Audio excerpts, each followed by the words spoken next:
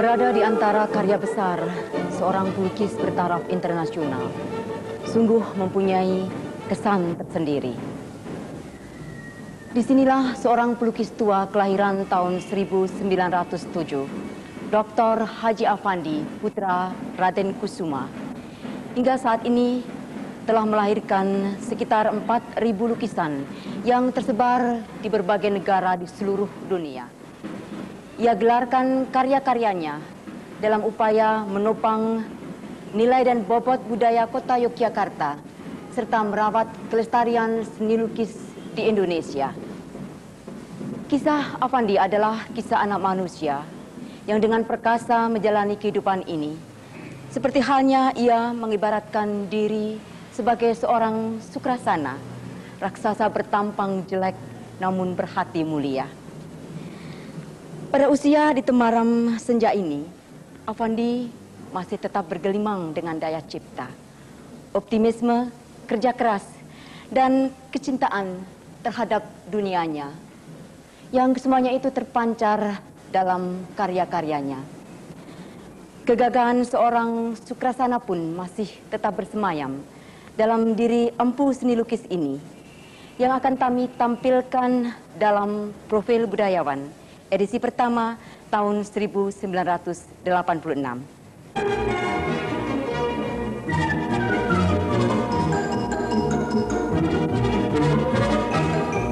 Budayawan Umar Kayam mengatakan, Afandi itu orang hebat.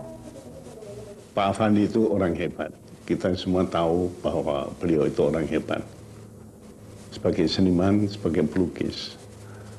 Tapi kita mesti melihat dalam konteks yang jauh lebih utuh itu manusia Avandi, sang pelukis Avandi. Ya. Jadi kehebatan itu mesti didudukkan di dalam konteks yang demikian. Maksud saya, kita mesti melihat bagaimana Avandi bisa sampai kepada prestasi beliau sebagai seorang pelukis yang demikian. Saya kira itu tidak lain karena sikap Pak Afandi untuk mau mempertaruhkan seluruh kehidupannya itu buat seni lukis. Sedangkan Bud Muhtar, Afandi melukis dengan cat yang langsung dari cupnya. Sejak 30 tahun yang lalu sampai sekarang, dia tidak merubah gaya lukisannya. Sangat ekspresif sekali.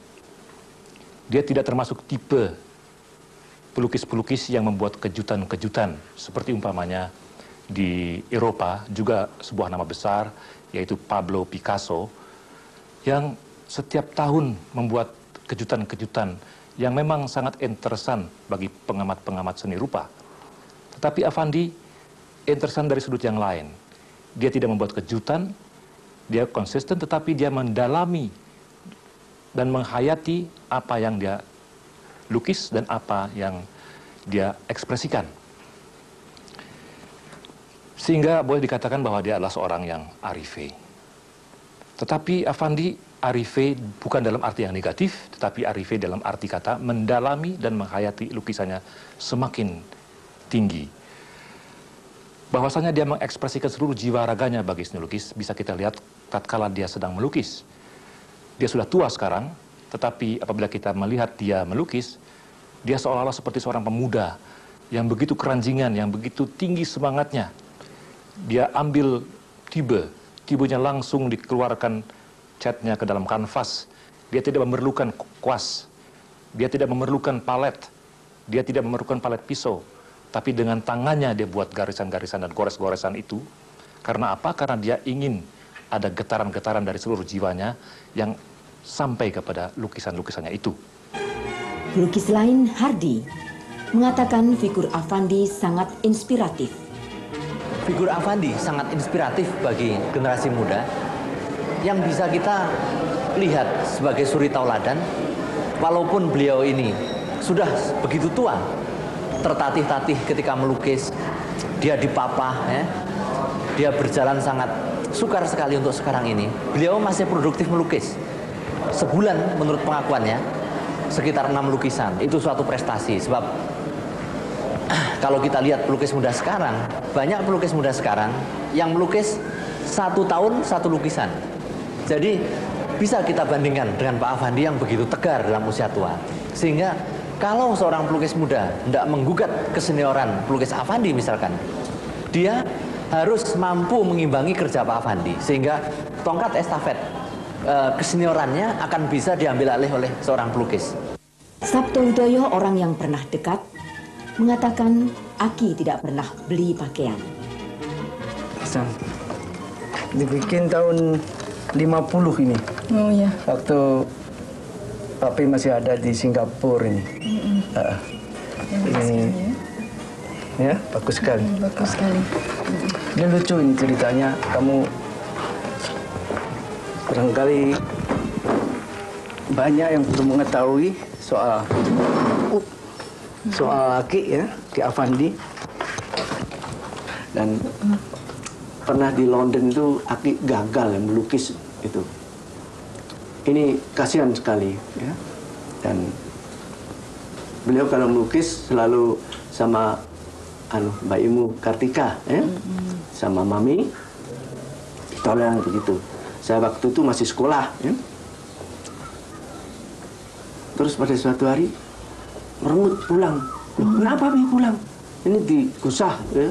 Disuruh pergi oleh polisi ya. Tidak boleh gambar ya. Dikira jual jamu ya. Habis kalau melukis dia, dia tuh jereng apa namanya? Seperti eh, kertas begitu lalu Kanvasnya itu ya. kanvasnya dipegang oleh ini Mami Avandi sama uh, Mbak Imu ketika. Nah ini. Gitu. Lah ini untuk polisi karena banyak orang melihat. Sampai jalan tertutup demonstratif begitu ya. Oh, ini lalu digusah tidak boleh. Marah gitu ya. Pulang aja berutul. Dan suatu hari ke tempat ini Kensington Garden gitu ya dekat di London itu. Dia baru melukis wah seneng nih ya. Tidak diganggu polisi. Oh banyak orang datang orang tua-tua. Anu ngelempari uang gitu. Oh, dikira- Eh, dikira pengemis ya. memang di London itu banyak itu melukis eh, ini kaki lima gitu. ya. itu melukis begitu lalu situ ada topi lalu di ya, Dilempari uang. lempari uang nah, begitu pun Aki ini dia malah itu Ya, saya lihat begitu ya malah seneng ya Dapat uang banyak dong. Nggak bisa kerja dapat Iya. uangnya. Itulah lucu-lucu sekali tuh. Eh, seperti Aki ya saya kira sampai sekarang ini belum pernah saya melihat Aki Avandi itu masuk toko beli pakaian, ya. Tidak pernah. Selalu dapatnya ya ya kaos oblong dari mami atau dari siapa atau dari kalau sekarang dari cucu-cucunya dikasih ya. Yes. Nggak pernah itu. Terus pakaian itu ya kalau nggak ke tukang luak eh, itu itu jadi anu primitif sekali. Merakyat sekali ya. Hmm.